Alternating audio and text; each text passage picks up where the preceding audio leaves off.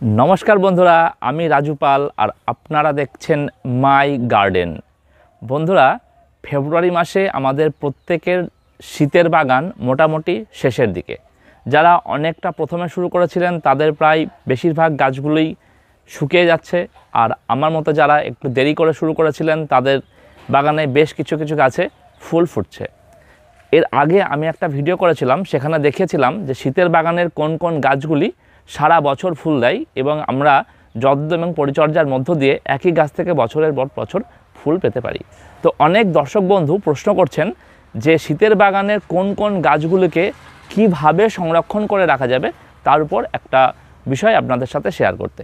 তো আজকের ভিডিওতে আমি আমার বাগানের একটা ওভারভিউ আপনাদের সাথে তুলে ধরবো এবং তার সাথে সাথে যে কোন গাছগুলোকে আমরা কীভাবে সংরক্ষণ করব সে বিষয়টা নিয়ে আলোচনা করব। আমরা মূলত শীতকালের বাগানের যে গাছগুলি হয়, সেগুলির বীজ অথবা কন্দ সংরক্ষণ করতে পারি। তবে যে সমস্ত গাছে ফুল হয়, পৃথিবীর প্রায় প্রত্যেকটি ফুল গাছই তার ফুল থেকে বীজ উৎপাদন করে পরবর্তী প্রজন্মকে টিকিয়ে রাখার জন্য। তাই প্রত্যেকটা ফুল গাছ থেকে আমরা কিন্তু বীজ সংগ্রহ করতে পারি। কিন্তু আমরা যেহেতু প্রফেশনাল মানুষ নই বা আমরা শখে বাগান করি তাই সেই বীজ সংগ্রহ করার যে সঠিক প্রক্রিয়াটা আমাদের জানা না থাকার দরুন আমরা প্রত্যেকটা বীজকে কিন্তু সঠিকভাবে সংরক্ষণ করতে পারব না এবং অথবা সংরক্ষণ করতে গিয়ে যে পরিশ্রম বা যে খরচ হয়ে যাবে তাতে আমাদের খুব একটা বেশি লাভ হবে না। তাই আমরা খুব সহজেই দেখব যে কোন কোন গাছগুলি থেকে আমরা বীজ সংগ্রহ করতে পারি। তো বন্ধুরা চলুন ভিডিওটা শুরু করি। ক্রসমাস প্রজাতির ডুয়ার্ফ ভ্যারাইটির একটা দেশি তারাগাদা ফুল গাছ। এই গাছগুলো কিন্তু আমরা খুব সহজে, দেখুন এইখানে যেগুলো রয়েছে, প্রত্যেকটা ফুল এইভাবে ঝরে যাওয়ার পরে এই অংশগুলো বীজে পরিণত হয়। এইগুলোকে আমরা গাছে কিছুদিন রেখে দিলে শুকিয়ে গিয়ে সুন্দর বীজ তৈরি হবে। খুব সহজেই এই গাছ থেকে কিন্তু বীজ তৈরি করা যায়। আর এই প্রজাতিটা এমন একটা প্রজাতি যেটা এই বীজগুলো থেকে আমরা কিন্তু গ্রীষ্মের বাগানেও চারা করতে পারি। বন্ধুরা, এবারে যে গ্ল্যাডিওলাস, আমরা কিন্তু গ্ল্যাডিওলাসের গোড়ায় যে কন্দ আছে, সেই কন্দগুলোকে সংরক্ষণ করব। কীভাবে কন্দ সংরক্ষণ করতে হবে তার একটা ভিডিও গত বছর আমি আপনাদের শেয়ার, সাথে শেয়ার করেছিলাম। তো এখানে দেখুন, এই গাছে ফুল ফুটে যাওয়ার পরে আমরা এই গাছটাকে কিছুদিন রেখে দিয়েছিলাম, অর্থাৎ এই ফুলগুলো শুকিয়ে গিয়েছিল। তারপরে এখন যেটা করতে হবে, এই গাছটিকে আমরা মোটামুটি নিচের থেকে ছয় ইঞ্চি উপর থেকে আমরা গাছটাকে কান্ডরা রেখে বাকি অংশটা কেটে দেবো। এখনই কিন্তু আমরা এই যে বাল্ব আছে নিচে, সেই বাল্বটাকে সংগ্রহ করব না। কারণ এই অংশটা কেটে দিলাম, গাছটা মাটিতেই কিছু- কিছুদিন থাকবে। এতে গাছটা একটু, বাল্বটা একটু পরিণত হবে। তারপরে আমরা এই বাল্বটিকে মাটি থেকে সুন্দর করে তুলে নিয়ে, এর সমস্ত মাটিগুলো ছাড়িয়ে নেব। তারপরে একটা প্যাকেটের মধ্যে করে একটু ফাঙ্গিসাইড পাউডার ছড়িয়ে আমরা আগামী বছরের জন্য সংরক্ষণ করব। তারপরে আগামী সেপ্টেম্বর, অক্টোবর মাসে এই বাল্ব লাগালে এখান থেকে আবার আমরা আগামী বছর সুন্দর সুন্দর ফুল পেয়ে যাব। তো বন্ধুরা, এই যে ডায়ান্থাস গাছের, আমরা বলেছি যে ফুল যখন ফুটে যাবে, আমরা এই ফুলের যে ফুল ফোটার পরে এই অংশগুলোকে আমরা কেটে দেবো, তাতে কিন্তু প্রচুর পরিমাণে ফুল আমরা পেয়ে যাব। আমরা যদি বন্ধুরা এটা কেটে না দিই, তাহলে কিন্তু গাছে এই- এইটা থাকার ফলে এটা পরিণত হয়ে খুব সুন্দর সুন্দর ফুল দেখা যাবে। এবার এই ড্যানথাস গাছের ক্ষেত্রে আমি যেটা দেখেছি, দেখুন এইখানে এটা সুন্দর করে যদি আমরা ছাড়িয়ে নিই, দেখুন একটা কাঁচা এই যে সুন্দর একটা, এই অংশটা আমরা পাচ্ছি। এইটা যদি শুকিয়ে যায়, এর মধ্যে বীজ থাকবে। আবার ডায়ান্থাস গাছের আরেকটা জিনিস দেখেছি যে অনেক সময় সব গাছ থেকে এইটা পাওয়া সম্ভব হয় না। যেমন দেখা যাচ্ছে, এই যে এইটা এইটা কিন্তু দেখুন শুকিয়ে নষ্ট হয়ে গেছে। আপনি কিন্তু এইটা থেকে বীজ পাবেন না।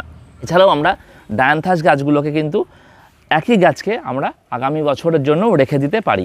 এই গাছগুলো সারা বছরের গাছ এবং সারা বছরই সুন্দর সুন্দর ফুল হয়।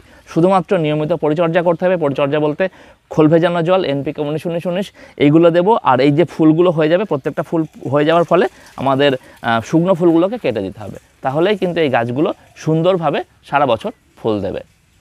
তো বন্ধুরা, আমার এখানে যেগুলো দেখছেন, ডালিয়া গাছ, আমার পছন্দের একটা ফুল গাছ, তার জন্য দেখতেই পাচ্ছেন এটা আমার এই সেকশনটা আলাদা করে শুধু ডালিয়ার জন্য রাখা হয়েছে আমরা এই গাছের কন্দ সংরক্ষণ করতে পারি যেহেতু আমার গাছগুলো অনেকটা লেটে ফুটেছে আর এই গাছগুলো এখন ফুল ব্লুমিং করছে এবং এই গাছগুলো থেকে কিন্তু আমি সেই এপ্রিল মাস পর্যন্ত সুন্দর সুন্দর ফুল পাবো গাছের ফুল শেষ হয়ে যাবে আমরা কীভাবে কন্দ সংরক্ষণ করছি সে বিষয়টা আপনাদের সাথে শেয়ার করব।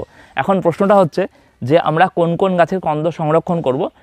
আমার বাগানে আমি যেহেতু একত্রিশটা ডালে গাছ লাগিয়েছি এবং অনেকগুলো সুন্দর সুন্দর ভ্যারাইটি আমি পেয়েছি, এর মধ্যে থেকে আমার পছন্দের বেশ কয়েকটি গাছ যাতে আমি আগামী বছর আমার বাগানে রাখতে পারি, তাই সেই গাছগুলোকেই আমি সংরক্ষণ করব, সেই বিষয়টা আপনাদের সাথে শেয়ার করব। তো মোদ্দা কথা হচ্ছে, এই যে গাছের গোড়ায় যখন আমরা গাছগুলো লাগিয়েছিলাম তো সে কাণ্ডের সাথে কিন্তু কিছু ছিল না, কিন্তু গাছ যত আস্তে আস্তে বড় হয়েছে, এর নিচে বাল্ব বা যে আলু, সেইগুলো কিন্তু সময়ের সাথে সাথে সেগুলো বড় হয়েছে। গাছ যখন শুকিয়ে যাবে, সেগুলো আরও বড় এবং সুগঠিত হবে। তারপরে গাছ শুকিয়ে গেলে আমরা যেভাবে গ্ল্যাডিওলাসের বাল্ব সংগ্রহ করব, করলাম, ঠিক সেইভাবেই আমরা এই মাটি থেকে অনেকটা উঁচু করে এটাকে কেটে দেব। তারপরে আমরা এই মাটিতেও রেখে দিতে পারি বা কোনো একটা পাত্রের মধ্যে কোনো কন্টেনারে বালি দিয়ে কনস্ট্রাকশনের লাল বালি দিয়ে তার একটু জলের ছিটা দিয়ে আমরা রেখে দিতে পারি। সেক্ষেত্রে মাটিতে রাখলে একটা যেটা অসুবিধা হবে, যদি কোনো কারণে এখানে জল জমে, সেক্ষেত্রে কিন্তু বাল্বগুলো পচে যাওয়ার সম্ভাবনা থাকবে। তাই আমরা এই বাল্বগুলোকে তুলে কোনো একটা শেডযুক্ত ছায়া জায়গায় রেখে দেবো। আগামী বছর সেই বাল্বগুলো থেকে আবার সুন্দর সুন্দর তেওর বেরোবে, সেইগুলো থেকে আমরা কাটিং করে আবার চারা করতে পারব।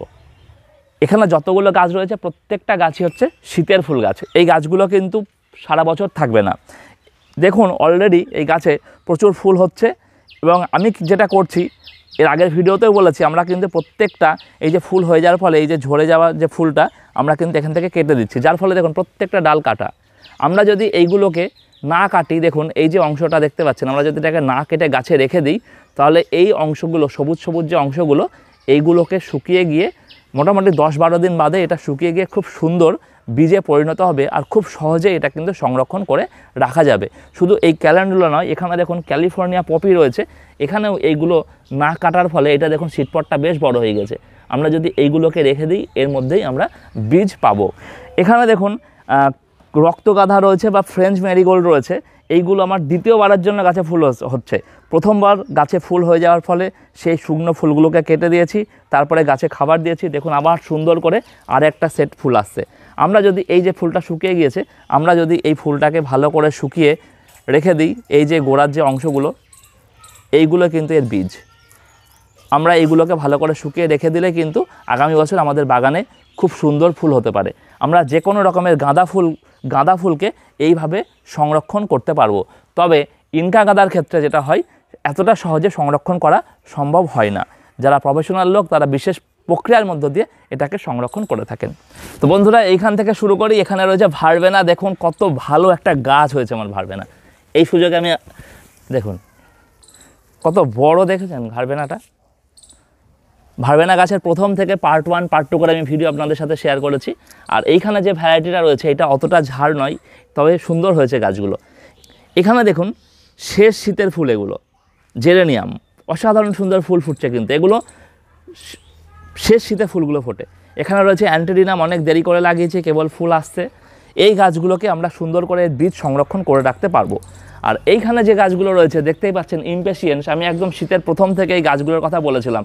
দুর্দান্ত সুন্দর ফুল গাছ হয়েছে এই গাছগুলো। তো ফুল ঝরে যাওয়ার ফলে এই যে অংশগুলো দেখছেন, এর মধ্যেই থাকবে এর বীজ। আমরা বীজ থেকে যেমন সংরক্ষণ করে এই গাছে চারা করতে পারব, ঠিক এই গাছগুলো মোটামুটি ফেব্রুয়ারি মাসের শেষে, অর্থাৎ মার্চ, এপ্রিল মাসে যখন প্রচণ্ড গরম পড়বে, আমরা এই গাছগুলোকে একটা ঠান্ডা ছায়া জায়গায় যদি রেখে দিই, তাহলে এই গাছগুলো কিন্তু মানে সারা বছর থাকবে এবং আগামী বছর এই গাছের কাটিং থেকে সুন্দর সুন্দর গাছ আমরা করতে পারব। আর একটা জিনিস, আমি যেমন এবছর চারটে আমার কাছে ইম্পেশিয়েন্স রয়েছে, এখানে দেখুন দু, তিনটে কালার পেয়েছি। এই কালারটা এই কালারটা খুব কাছাকাছি হলেও খুব ভালো করে লক্ষ্য করলে দুটো কালার আলাদা, যদিও ক্যামেরায় বোঝা যাচ্ছে না আর এই দুটো হচ্ছে বীজের চারা, একই রকমের চারা পেয়েছি। তাই আমরা এই সময় নার্সারি থেকে যদি ছোট ছোট চারা সংরক্ষণ করতে পারি মানে কিনে নিয়ে আসতে পারি, তাহলে কিন্তু আগামী বছরের জন্য আমরা মাদার হিসেবে সেই গাছগুলো রাখতে পারি। এখানে যেমন যে গাছটি দেখছেন, আমি নার্সারি থেকে নিয়ে এসেছি ছোট্ট একটা গাছ এবং এই টবে পুঁতে দিয়েছি। এই ভ্যারাইটিটা আমার আগামী বছর মাদার হিসেবে থাকবে। তাহলে আমরা যেটা বুঝলাম যে এই ইম্পেশিয়েন্স কাটিং থেকে করতে পারি, বীজ থেকেও করতে পারি। তো বন্ধুরা, এখানে দেখতেই পাচ্ছেন যে বেগুনি রঙের অ্যাস্ট্রা রয়েছে, প্রচুর প্রচুর পরিমাণে ফুল ফুটেছে।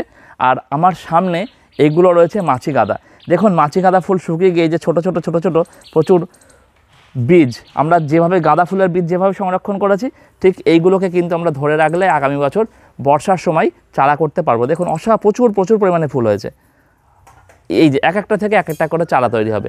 প্রচুর পরিমাণে বীজ আমরা এই গাছ থেকে পাবো। আর আমার পেছনে ডালিয়া ডালিয়া কীভাবে সংরক্ষণ করব সেটা আমরা বললাম।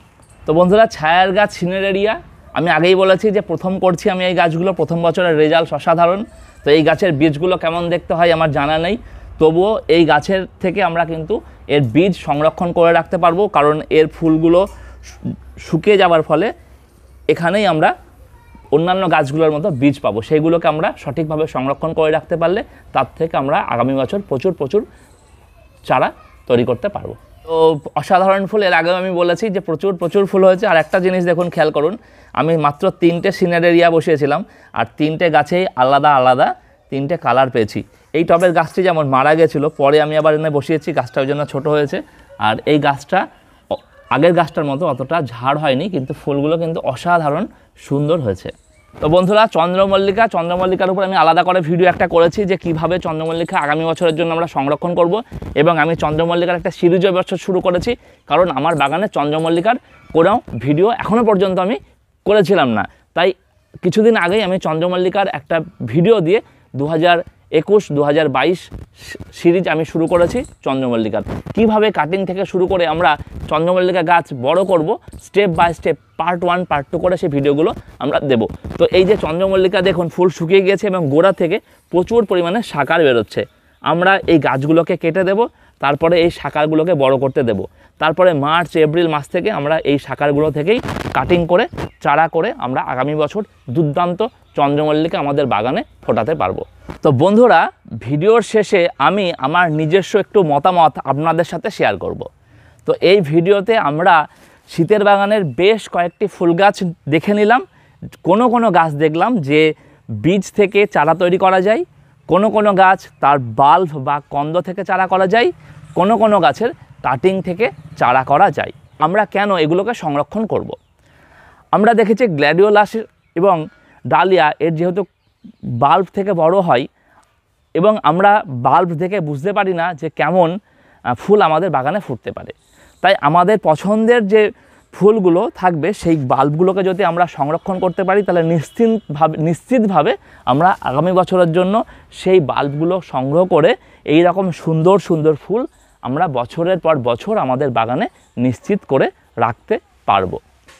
যেমন চন্দ্রমল্লিকা, যারা অনেক ভালো চন্দ্রমল্লিকা গাছ করতে চান, কিন্তু নার্সারিতে যখন চারা অ্যাভেলেবেল হয়, তখন গাছ কিনে চারা করতে গেলে ভালো গাছ হবে না। তাই অনেক প্রথম থেকে চারা করতে গেলে এবং নিশ্চিতভাবে খুব সুন্দর সুন্দর ফুল পেতে গেলে আপনাকে এখনই বিভিন্ন নার্সারি বা বিভিন্ন জায়গা থেকে মাদার কালেকশন করতে হবে এবং সেই গাছের কিছু যদি আপনি কাটিং থেকে চারা করেন, তাহলে আগামী বছর আপনার পছন্দের মতো ফুল নিশ্চিতভাবে আপনার বাগানে করতে পারবেন তো আমি মূলত গ্ল্যাডিওলাস ডালিয়া, চন্দ্রমল্লিকা এই গাছ কটা আগামী বছরের জন্য সংরক্ষণ করব। কিন্তু এই যে আমি বাকি যে ফুলগুলোর কথা বললাম সেই ফুলগুলোর একটিরও বীজ আমি সংরক্ষণ করব না।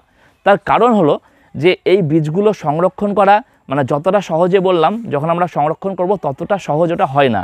কারণ সেই বীজগুলো একটা একটা করে ধরা, সেগুলোকে শুকিয়ে রাখা এবং এই আগামী সাত আট মাস এটাকে ঠিকঠাকভাবে সংরক্ষণ করে রাখা একটু সত্যিই সমস্যা এবং একটা ঝামেলা থাকে। আর একটা জিনিস যে আমরা দেখেছি, যেমন ধরুন ক্যালেন্ডুলা ফুল গাছ ক্যালেন্ডুলা ফুল গাছের যে বীজ, সেগুলো মাটিতে পড়ে আপনা থেকেই প্রচুর চারা এই সময় হয়। কিন্তু সেই চারা আমরা যখন ছড়িয়ে দিই, একটু সঠিকভাবে যদি করতে না পারি, তাহলে সেই চারা একটাও হবে না। আরেকটা জিনিস, যদিও বা চারা হয়, তখন কিন্তু আমাদের অনেক চারা হয়ে যাবে। তখন সেই চারাগুলো আমাদেরকে দেওয়ার লোক খুঁজে পাওয়া যায় না। এটা একটা বিষয় থাকে।